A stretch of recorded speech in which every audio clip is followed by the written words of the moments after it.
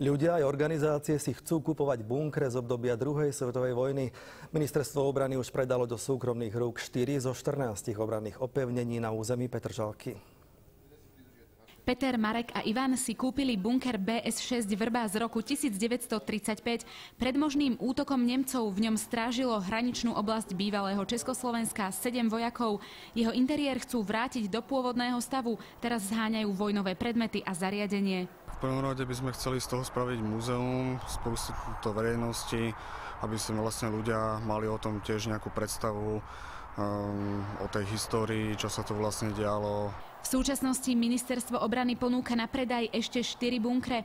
Je to prebytočný majetok štátu, ktorý ozbrojeným silám neslúži ani slúžiť nebude. Ministerstvo obrany pri predaji prebytočných opevnení postupuje v zmysle zákona a preto nemôže ovplyvňovať, e, kto si dané opevnenie kúpi. Jeden bunker ministerstvo darovalo Bratislave, 5 odovzdalo do správy Vojenskému historickému ústavu.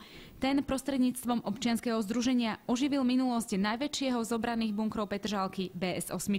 Občianske združenie Zachraňme Petržalské bunkre začalo s obnovou bunkrov pred tromi rokmi. Žili tu 10 rokov narkomane bezdomovci, aj tento bunker vypalili, zničili a my sme mali taký pocit, že sem nanosili všetko možné, dá sa povedať, z kontajnerov. Sú to naše dejiny a nikto sa o to nestaral. Dnes vnútrajšok najväčšieho z línie 14 petržalských bunkrov, ktoré postavili v 30. rokoch minulého storočia, ukazuje verejnosti podmienky, v akých v ňom žilo a hliadkovalo vyše 30 vojakov. Vďaka občianským združeniam i súkromným majiteľom čaká obnova ďalšie z nich. Kristýna Dobrovodová, RTVS.